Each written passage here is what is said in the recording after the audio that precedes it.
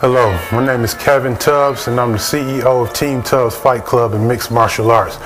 What my duty is simply, you know, I don't have any time to, you know, teach anybody how to fight, but what I do is I take people who already got, you know, a bit of an edge, pretty much make you a better fighter, and it's, you know, more so than turning you into a fighter. Uh, yes, actually, I have uh, Lamar the Abomination Foster. He's fighting at 280, I believe, right now. Uh, I also have Eric the Reject Burris. Uh, he's making a comeback to the cage after uh, maybe a five or six month hiatus. Uh, I have uh, Tasha Bad Mama Jama Moore. You know, she's a new recruit to my team. Uh, she'll be fighting Tori Athy for the 125 pound female belt. And who else do I have? I have Mario Aguilar, who's fighting for the 145 belt against Meech Graham. Well, actually, Team Tubbs, uh, you know, we have a vision right now.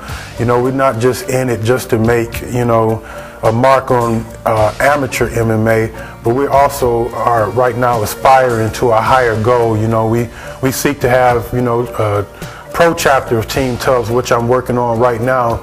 And, um, you know, we're looking to get fighters in the WEC or the UFC or, you know, whoever will, have us, you know, because what we bring it to the table is, uh, you know, we bring an advancement. You know, we're not staying in one stagnant spot, man, and not progressing. I hear about a lot of guys, you know, I watch them, man, they sit around and they smoking cigarettes and, you know, drinking and everything, but, you know, I, am totally against that, you know, that, that, that stops your progression. And, you know, as a fighter, you know, certain habits you don't need to have. So, you know, we're going to make a pretty big mark in this game, you know, on our way to the pros.